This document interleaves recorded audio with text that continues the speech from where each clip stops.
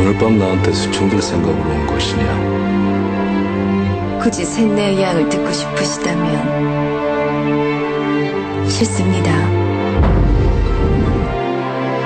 그 황진이의 그 뒷면에 있는 정말 인간적인 황진이를 다뤘어요.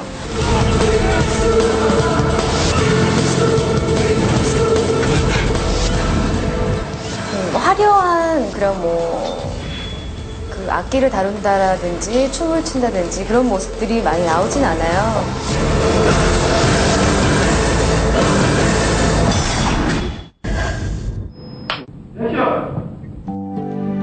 영화로 돌아온 황진이는 기녀이기보단 여인입니다.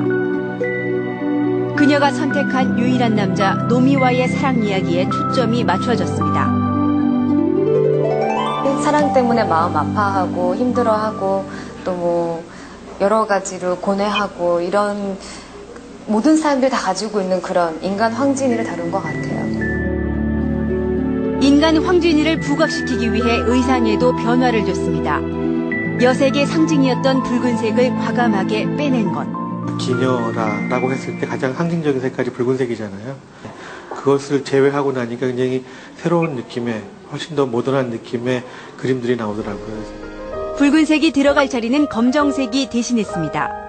세련된 검정색 이미지로 16세기의 신여성을 표현했다는 겁니다.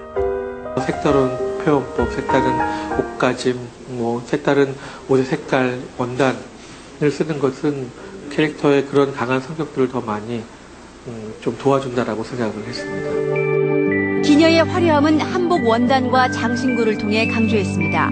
속살이 비치는 레이스 소재 한복과 고급스러운 서양식 문양, 1m가 넘는 대형 놀이개가 멋스러움을 더했습니다. 되게 신기했어요. 저도 매번 한복을 꺼내 오실 때마다 되게 신기해하면서 입었던 것 같아요. 또 그런 한복을 또 처음 봤고. 이번 영화의 원작은 북한 작가 홍석중의 작품. 그런 만큼 시사회도 이달 말 금강산에서 가질 예정입니다.